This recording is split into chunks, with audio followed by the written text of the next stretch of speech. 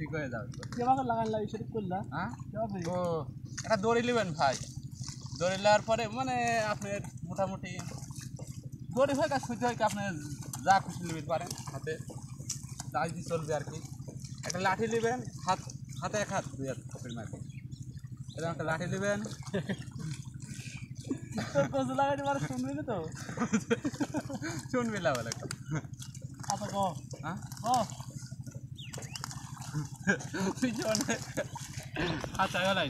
কি কি সার দেওয়া লাগবে ক? ইউরিয়া। প্রথম অবস্থায় ভাই, ইউরিয়া সার। তারপরে যা, ভাই, এক মাস পনেরো দিন পরে যা গোটা মাটি সার দিবেন। মাটি সার দেওয়ার পরে আর কি মোটামুটি এই তো মাঝখানে গেলে পরে মেরে দিবেন বইটা। বইটা সাফ করে দিবেন। সাফ করে দেওয়ার পরে আবার সাইড দিয়ে লাল সার দিবেন। দেওয়ার পরে আপনি কচুর যে লাইল হবে লাইল সব কাটিয়ে দিবেন। মোটামুটি চার আঙ্গুল ছুরি কাটবেন। আবার গোরফারি কাটেন না গোরফারি কাটলে হবে না? তোর এটা সঠিক হয়েছে। হ্যাঁ? সঠিক হয়েছে? এটা তো লাইক পাও নাকি কথাটা। তারপর ক? হ্যাঁ? তারপরে যে উপরে ফুল ধরবি যে ভাই বুঝছেন না এই হলুদ একটা ফুল আসবে। ওই ফুলটা কাটিয়ে দিবেন। আর আর এক জাতের একটা ফুল আসবে। ওটা সাদা জাতীয় আর কি। ওইটাও কাটিয়ে দিবেন। তিন জাতের ফুল আসছে। ওই ভাই রে ভাই।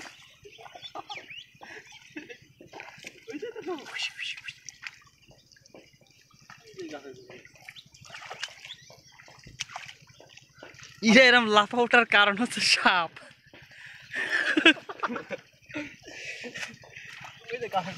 ওই তো চলি গেছে। ওই যে গাদিমে দেখলে।